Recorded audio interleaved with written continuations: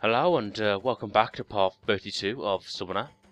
And, uh, well, after freeing Wolong, we need to uh, set up a few side quests before we head on to the next dungeon.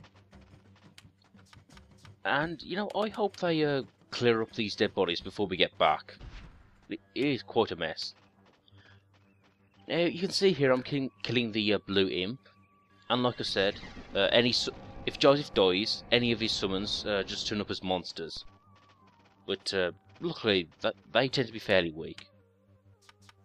Oh, and remember to head over to the general's position, and you can pick up a, a ever sharp katana.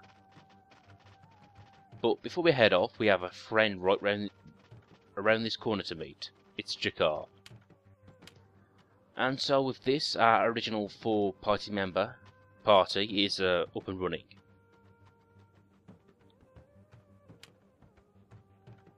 And of course, uh, Jekhar just fills us in on his backstory here. And it turns out that that queen, uh, Galien, was sort of working with Prince Sornihan the whole time.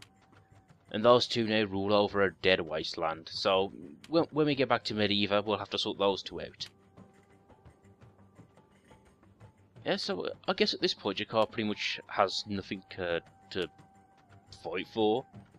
So he, so he thought, ah, forget it, so I'll just get the rings back to Joseph. Speaking of which, that is what he does give us here, another ring.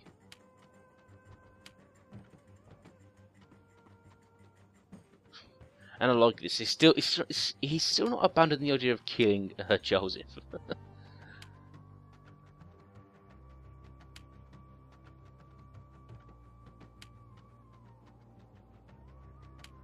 the Ring of the Four Winds.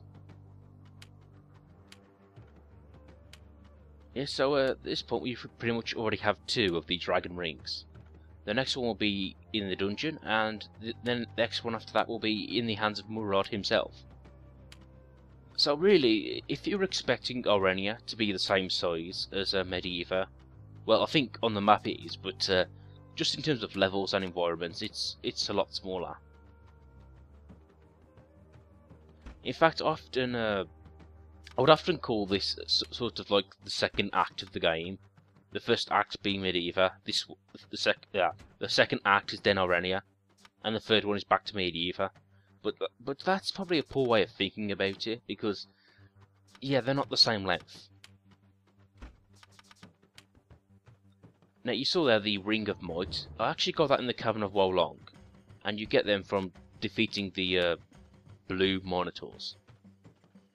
And they're pretty good uh, magical items. So if you see them, they are worth getting. And essentially, I'll give Jekhar a one-handed blunt weapon, which will be pretty useful against uh, most of the enemies. And essentially, when it comes to Jekhar, he at this point he he becomes quite a, a good physical fighter. And once you level him up even more, he gets more and more powerful. In fact, I'd say near the end he's actually one of the best characters in the game. Well, granted, I guess that they are really good, but uh, uh, you'll see what I mean. He becomes a real heavy hitter. And of course, you can see I also re-equip some armor. There we go. Hey, looking snazzy, Jekhar. Uh, now, there are some side quests that appear in Wolong, but you have to leave the uh, village and then return. And then uh, I guess it will reset to a sort of uh, a more peaceful time.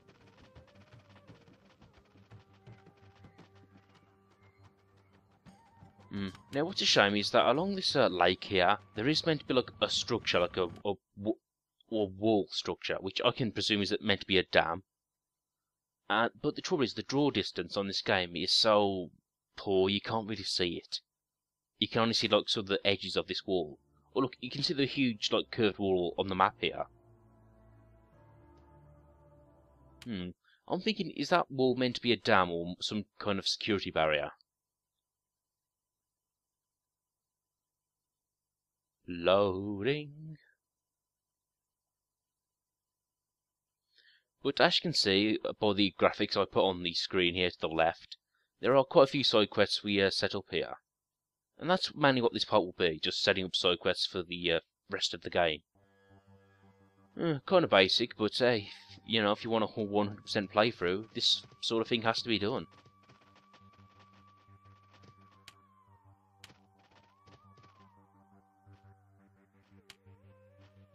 Thanks for that, mate.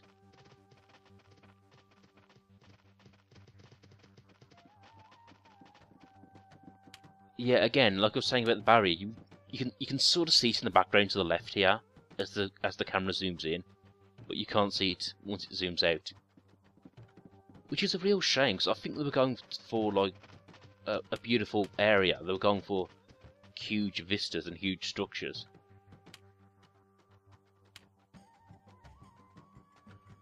But anyway, this guy fills us in on the Dragon of Jade. Just a bit of mythology.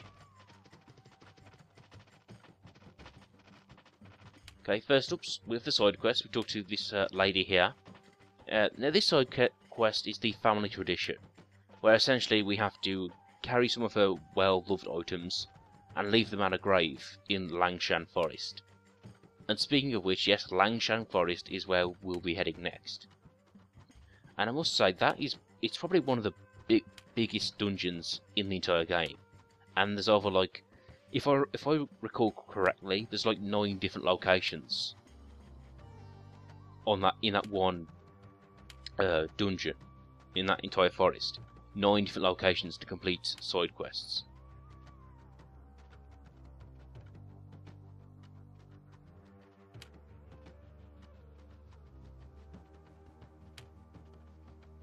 Anyway, we get the locket and uh, Diao coin.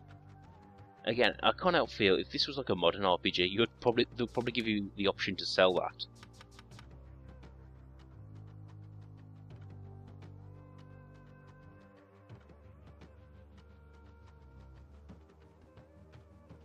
Okay, moving on here, talk to this guy here, and yes, this is Lakay, and this is definitely part of the uh, Durgan's Lucky Charm side quest.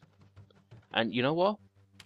Praise be to the four dragons, he has it.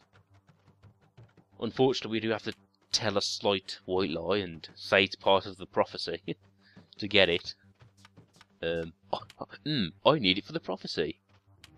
Yes, and I'll also need uh, some of your gold for the prophecy, uh, some of your food, and uh, a night with your wife.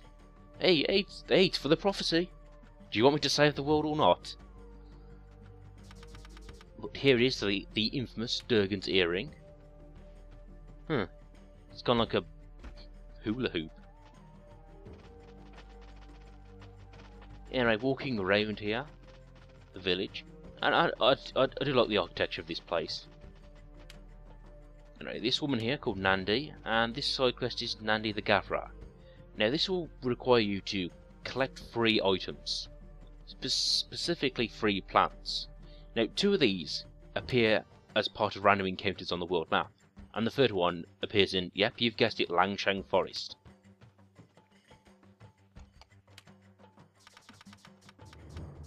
And the first item is Sparrow's Egg, which is actually not an egg, it's a, a, a plant.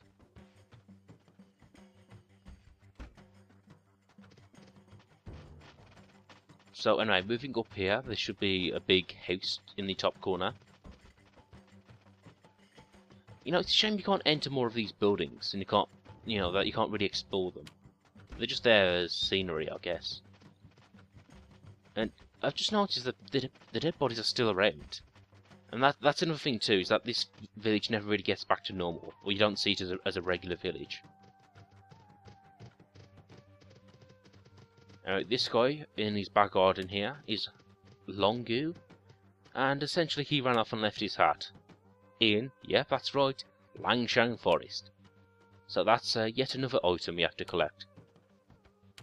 And actually, I'll just, you know, be honest now. All the all the five key points you see on screen here, yep, they all they all relate to that Langshan Forest. But uh, anyway, about this forest, you'll see when we get there. But uh, it was definitely one of the the biggest milestones when recording this game. But on the bright side, once I knew I'd recorded this forest, then I knew I had did did the most longest and well, it's not hardest, but I knew I did like the biggest chunk of the game.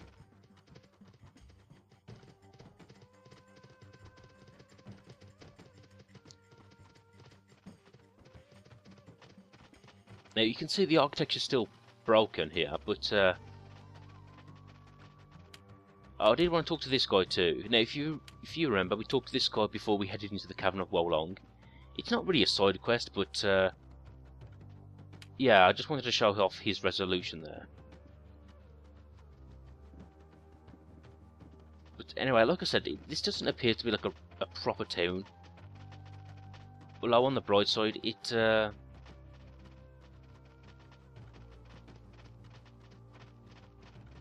Oh yeah, I was, I was, about to say, it does have merchants in it, like an armor merchant, a weapons merchant, and a potions merchant. So you can come here to stock up on the stuff if you want to.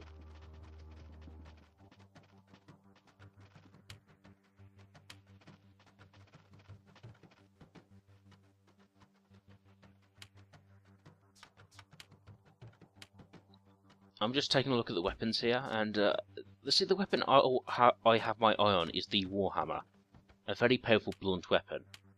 Although granted, it is fairly slow to use, and it does require two hands, which puts, which puts me off.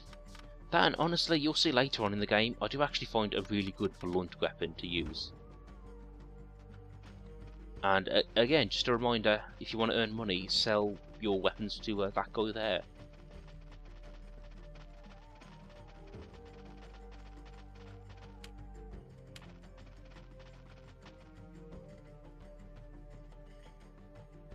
Ah, yes. Uh, this is uh, the woman who, uh, if you re recall, gave us the uh, knife in part of the side quest to get our hand back.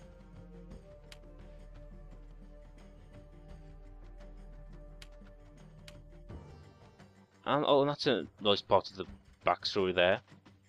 Apparently she's going to head to the Tower of Eli to uh, free the slaves there. That's good of her. I mean, I would do it myself, but hey, the game won't let me back into the tower. Okay, next side quest, the statue of Goldie II, who, if you recall, was the deposed emperor, and apparently he was a better ruler. But, uh, you know, it's hard, hard not to be better than a madman who builds a big tower. And essentially, yep, it's a sort of a, an item hunt quest where you have to find the missing parts of the statue. Two arms, two legs, and a head. And yep, you've guessed it. Two of these items are in Langshan Forest.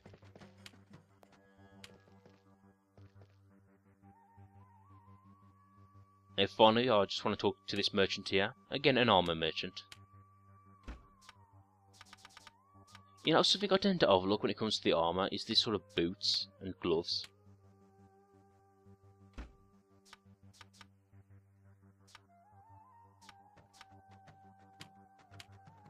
And just having a look at the chainmail leggings here.